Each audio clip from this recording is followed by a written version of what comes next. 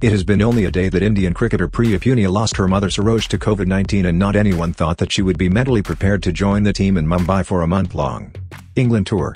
Yet, the youngster has decided to join the team and enter the bio bubble, taking a leaf out of Virat Kohli's life. The India men's team skipper lost his father while he was playing for Delhi in Ranji Trophy and he decided to continue playing after returning from the crematorium.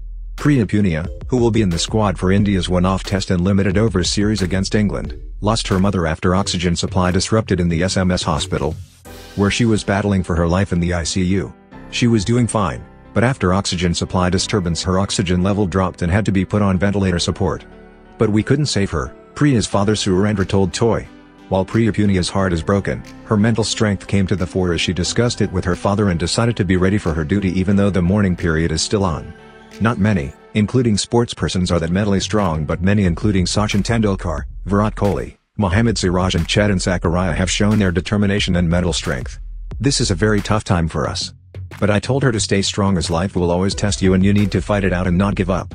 Priya understands this and said that Papa I am not thinking about missing out on my professional commitments.